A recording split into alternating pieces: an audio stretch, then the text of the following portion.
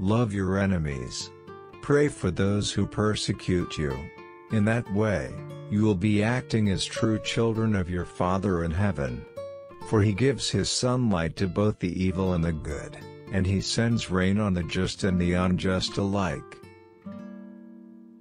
Whoever wants to be a leader among you must be your servant, and whoever wants to be first among you must be the slave of everyone else.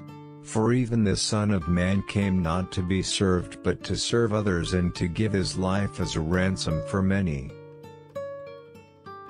Don't worry about tomorrow, for tomorrow will bring its own worries.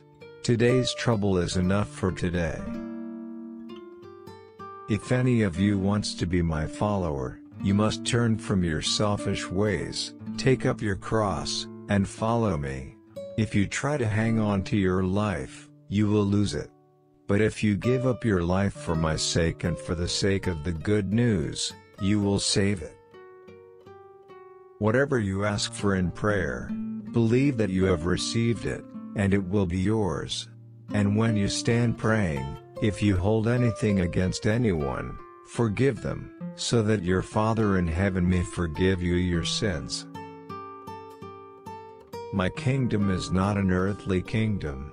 If it were, my followers would fight to keep me from being handed over to the Jewish leaders. But my kingdom is not of this world.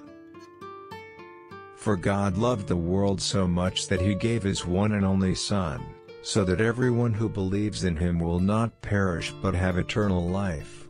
God sent his Son into the world not to judge the world, but to save the world through him.